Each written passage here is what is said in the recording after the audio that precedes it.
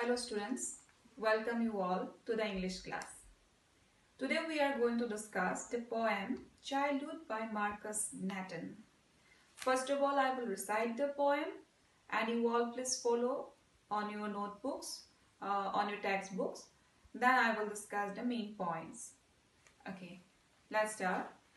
Childhood by Marcus Nathan. When did my childhood go? Was it the day I chose to be 11? Was it the time I realized that hell and heaven could not be found in geography and therefore could not be? Was that the day? When did my childhood go? Was it the time I realized that adults were not all they seemed to be? They talked of love and preached of love, but did not act so lovingly. Was that the day? When did my childhood go? Was it when I found my mind was really mine to use whichever way I choose, producing thoughts that were not those of other people, but my own and mine alone? Was that the day? Where did my childhood go? It went to some forgotten place that is hidden in an infant's face. That's all I know. So, this was the poem. Now, I will discuss what exactly the poet, the poet wants to say through this poem. এতিয়া চাবা এই পয়েমটোত কবিয়ে কি ক'ব খুজিছে সেয়া মই ক'বলৈ গৈ আছোঁ এই কবিতাটোৰ নামটো হৈছে চাইল্ডহুড চাইল্ডহুড মানে আমি জানো অসমীয়াত ল'ৰালি কাল তো কবিয়ে নিজৰ ল'ৰালি কাল যিটো হেৰাই গৈছে তেওঁৰ হেৰাই যোৱা ল'ৰালি কালৰ বিষয়ে এই কবিতাটোত বৰ্ণনা কৰিছে। তেওঁ কবিয়ে ইয়াতে মনত পেলাবলৈ চেষ্টা কৰিছে যে কেতিয়া তেওঁৰ ল'ৰালি কালটো হেৰাই গ'ল কেতিয়া তেওঁ এটা সৰু ল'ৰাৰ পৰা এজন প্ৰাপ্তবয়স্ক যাক আমি এডাল্ট বুলি কওঁ ইংৰাজীত এজন এডাল্টলৈ পৰিৱৰ্তন হ'ল। তেওঁ তেওঁ এটা সহজ সৰল সৰু ল'ৰা আছিলে। কোন সময়ত কোনদিনাখন তেওঁ এজন প্ৰাপ্তবয়স্ক মানুহলৈ তেওঁ পৰিৱৰ্তন হ'ল সেই কথাটো তেওঁ মনত পেলাবলৈ চেষ্টা কৰিছে। তাৰপিছতে তেওঁ আৰু এটা কথা মনত পেলাবলৈ চেষ্টা কৰিছে যে তেওঁ কেতিয়া তেওঁৰ চিন্তাধাৰাবিলাক সলনি হ'ল। তেওঁ কেতিয়া প্ৰতিটো কথা যুক্তিৰে বিচাৰ কৰিবলৈ আৰম্ভ কৰিলে। কেতিয়া তেওঁ আৱিষ্কাৰ কৰিলে যে তেওঁৰ চাৰিওফালে থকা মানুহবিলাক আচলতে যেনেকুৱা তেওঁলোকক দেখা যায় তেনেকুৱা নহয়। তেওঁলোক একো একোজন ভণ্ড বুলি কবিয়ে ক'ব খুজিছে। হিপক্ৰাইটছ তেওঁ ৰিয়েলাইজ কৰিছে যে the people around him were all hypocrites তেওঁলোকক যেনেকুৱা দেখা যায় তেওঁলোকে যেনেকৈ নিজকে মানুহৰ আগত দেখুৱাই তেনেকুৱা তেওঁলোক নহয়। সেই কথাটো এই কথাখিনি কবিয়ে কিয় ক'বলগীয়া হ'ল? সেয়া আমি কবিতাটোৰ প্ৰতিটো পেৰাগ্ৰাফ পঢ়িলেই আমি গম পাম। তাতে কবিয়ে কৈছে যে সৰুতে ল'ৰা ছোৱালীবিলাক সহজ সৰল থাকে মনবিলাক সহজ সৰল থাকে। লাহে লাহে যেতিয়া তেওঁলোক ডাঙৰ হয় ল'ৰা ছোৱালীবিলাকৰ মনত প্ৰশ্ন কিছুমানৰ উদয় হয়। ডাঙৰে যেনেকে কয় সৰুতে তেওঁলোকে চব তেনেকে মানি লয়। কিন্তু যেতিয়া তেওঁলোক লাহে লাহে ডাঙৰ হয় তেওঁলোকৰ মনত তেওঁলোকৰ চিন্তাধাৰাত এটা পৰিৱৰ্তন আহে। তেওঁলোকে ডাঙৰে ক'লেই সকলো কথা মানি নলয়। প্ৰতিটো কথা যুক্তিৰে বিচাৰ কৰিবলৈ চেষ্টা কৰে। প্ৰতিটো কথা ভাল বেয়া ভুল শুদ্ধ কিয় ভাল কিয় বেয়া বা কিয় ভুল বুলি কৈছে এইটো কথা কিয় ভুল কিয় বা কিয় শুদ্ধ এই প্ৰতিটো কথাৰ সিহঁতি যুক্তি বিচাৰে। যুক্তিৰে প্ৰতিটো কথা বিচাৰ কৰিবলৈ আৰম্ভ কৰে। এতিয়া কি হয় আচলতে প্ৰতিটো ল'ৰা ছোৱালীৰে বুদ্ধিৰ বিকাশ হয় চিন্তাৰ বিকাশ হয়।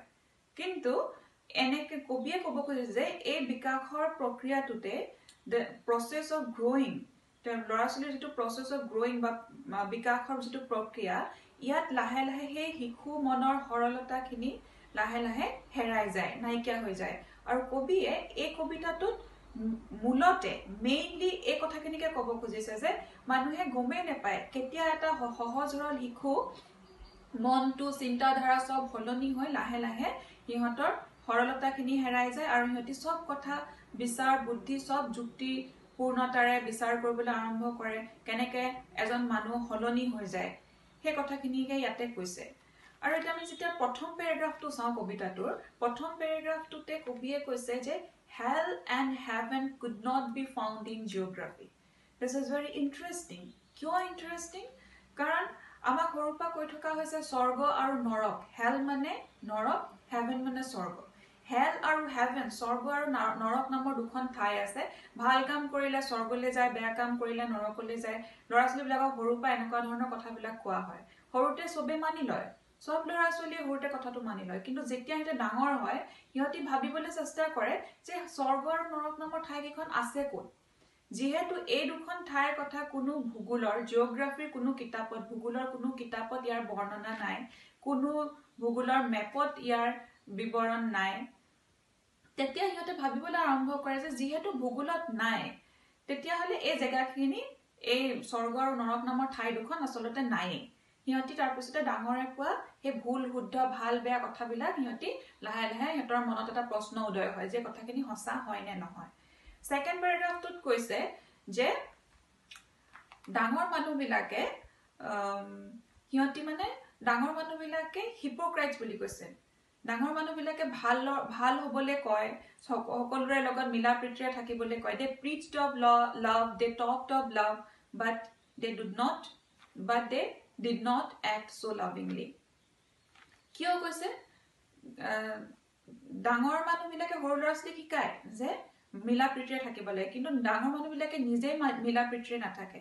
সেইবাবে কবিয়ে কৈছে যে আমি লাহে লাহে লাহে ল'ৰা ছোৱালীবিলাকে বা কবিয়ে লাহে লাহে ৰিয়েলাইজ কৰিবলৈ আৰম্ভ কৰিলে অনুভৱ কৰিলে আৱিষ্কাৰ কৰিলে যে এই চাৰিওফালে থকা মানুহবিলাক আচলতে ভণ্ড। সিহঁতি নিজে যিটো কয় সেইটো কিন্তু তেওঁলোকে কৰি নেদেখুৱায়।